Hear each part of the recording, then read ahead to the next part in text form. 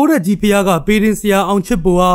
လိမ်မိုင်းဆိုင်ရာစော်ကားမှုတွေလုပ်ခဲ့တယ်လို့ဒိန်းပူပူတောင်ကမက်လာရှိရဲ့နေမှာပြောဆိုလိုက်ပြန်ပါပြီ။ကိုရက်ကြီးဖျားမှာဖြစ်ပွားခဲ့မှုနဲ့ပတ်သက်ပြီးတရားစွဲခံထားရတဲ့ဘေဒင်ဆရာအောင်ချစ်ပူကအမှုဖွင့်တိုင်ကြားတဲ့ဒိန်းပူပူတောင်ကိုပြန်လည်တရားစွဲတာမျိုးတွေလည်းရှိနေပါတယ်။ဟာသာတရုတ်ဆောင်ဒိန်းတောင်ရဲ့သမီးဖြစ်သူဒိန်းပူပူတောင်ဟာသက်ဆိုင်ရာဖွဲ့စည်းတွေစီတိုင်ကြားစာတွေပို့ခဲ့ပေမဲ့အခုလိုပြန်ပြီးတရားစွဲခံရတာဖြစ်ပါတယ်။ အခုတော့ဖခင်ဖြစ်သူကိုရိုင်းအစအဆုံးလိုက်ကူညီပေးနေတယ်လို့ဒိန်းပူပူတောင်ကပြောဆိုခဲ့ပါတယ်။ ဒါ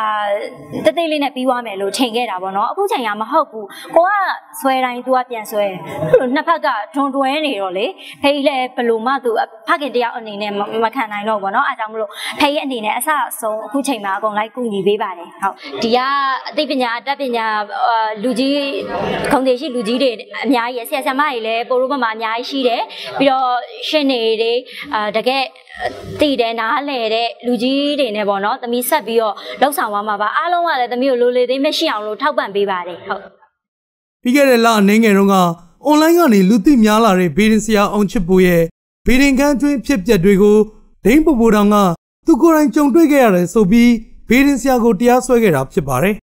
ဆွဆွဲခံရသူကပြန်ပြီးတရားစွဲဆိုခွင့်ရှိတယ်ဆိုပေမဲ့နစ်နာခဲ့တဲ့အမျိုးသမီးတွေအတွက်အမှုမှန်ပေါ်ဖို့ခတ်သွားပြီလို့ဆိုလာသူကမက်ခင်လေးပါလိမ်မိုင်းဆိုင်ရာကျူးလွန်ခံရတဲ့မြို့သမီးတွေရှိနေပေမဲ့ ကဲ့ရဲ့ခံရမှာစိုးလို့ထုတ်မပြောတာတွေရှိတယ်လို့လည်းသူကပြောပါတယ်။ တစ်ဖက်ကဆွဆွဲခံရသူအနေနဲ့လည်းတံပြန်ပြီးတော့တရားစွဲမှုတွေရှိတယ်လို့ကျမတို့ကြားရပါတယ်။ဒါကတော့လူသားတယောက်အနေနဲ့သူ့မှာအခွင့်အရေးရှိတယ်။သို့ပေမဲ့ဒါကဘာကိုပြလဲဆိုတော့တကယ်နစ်နာသူအမျိုးသမီးတွေအနေနဲ့အမှုမှန်ပေါ်ပေါက်ရေးဒီအဖြစ်စဉ်ကိုနောက်လူတွေမဖြစ်အောင်သူတို့ကစေတနာနဲ့ပြောပေမဲ့ဆွဆွဲခံရတဲ့သူကပြန်ပြီးတော့သူတို့ကိုတံပြန်တရားစွဲတဲ့အတွက်အမှုမှန်ပေါ်ပေါက်ရေးအတွက်ဟန်တာဖြစ်စေတယ်လို့ကျမတို့မြင်ပါတယ်။နောက်တစ်ခုကတော့ကျမတို့ကဒါကိုင်းနေထိကြိုက်အောင်ဟိုပေါ့နော်လိမ်မိုင်းဆိုင်ရာထိကွားနှောက်ယှက်မှုဖြစ်တဲ့အတွက်